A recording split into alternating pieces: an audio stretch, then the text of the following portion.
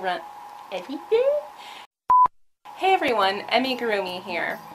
So if you're a crafter like me, and you frequently surf the net and probably Pinterest, you've more than likely seen painted canvas shoes.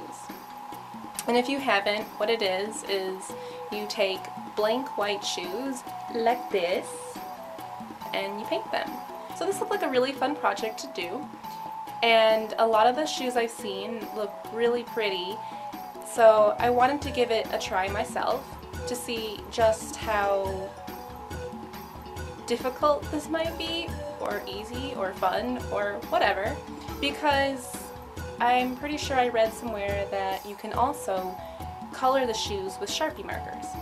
And I have a ton of them. So, time to try this out.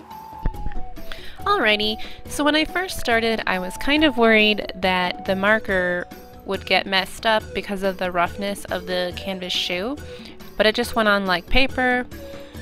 It did bleed a little bit, but I noticed that it wasn't too bad if I didn't put a lot of pressure on it. Also, it kind of just depends on the marker, so you'll have to experiment a bit. But it's super easy.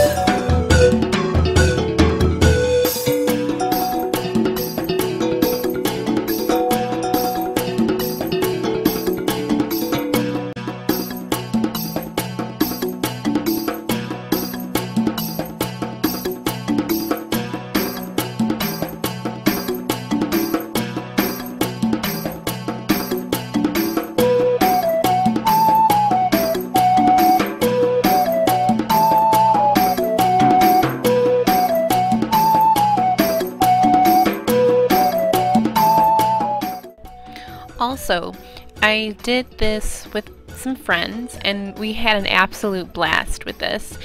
And for that, I actually did black canvas shoes and painted on them. And that came out really nice too.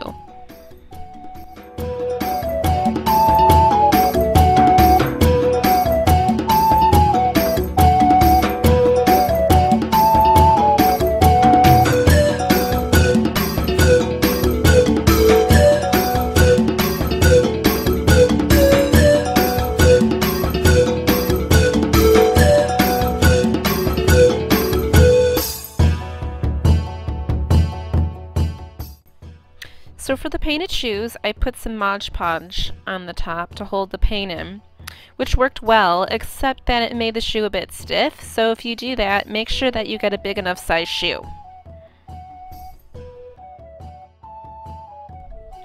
Now for the Sharpie version, I decided to use some water repellent spray instead.